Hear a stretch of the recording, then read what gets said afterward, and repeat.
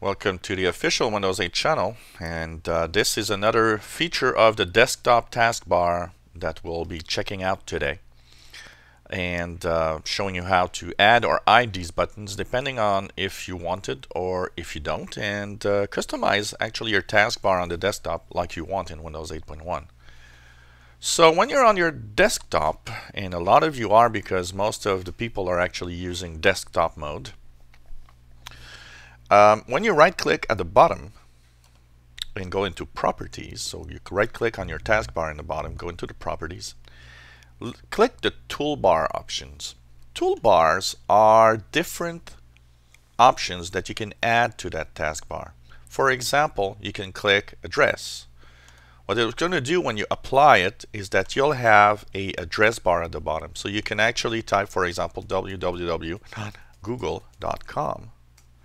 and have a Internet Explorer page open up with your website. So you don't have to open the browser to type in an address. You can actually type it directly in the taskbar. So that could be useful uh, in some cases. So that's one option that you can add.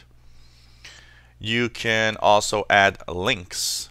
And if you apply with links, uh, these will bring up links to uh, your favorite websites, that are in the uh, favorites link folder. So you can actually click a web page link and actually uh, go into that link. And of course everything is customizable.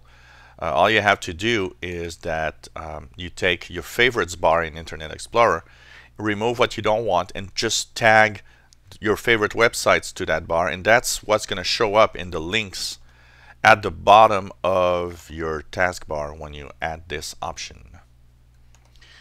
There's also what's called touch keyboard. Touch keyboard is a quick way to actually have your keyboard show up and um, if you have a touch interface it might be very useful.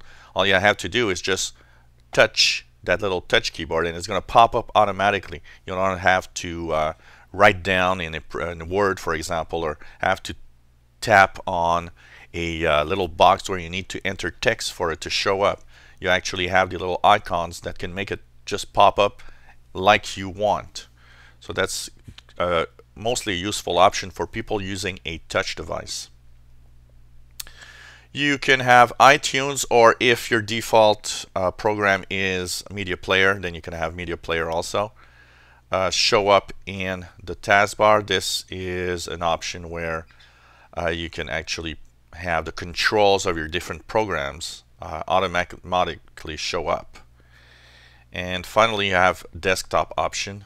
Desktop option is the option where you just tap on the screen and actually you can click on one of your desktop icons.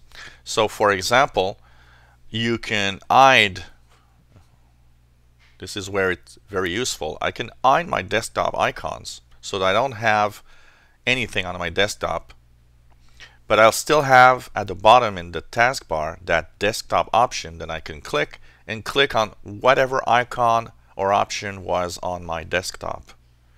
And it even adds um, features like you know um, this PC libraries network everything is there.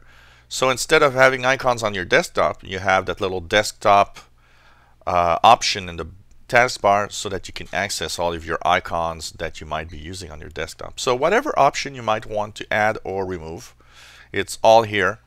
And you can, of course, just remove all the check marks to have a regular standard uh, desktop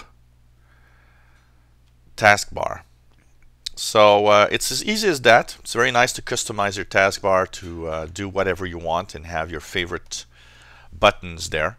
So I uh, hope that this video can be useful for some of you out there that might want to have a little bit more ease of use of the desktop mode in Windows 8.1.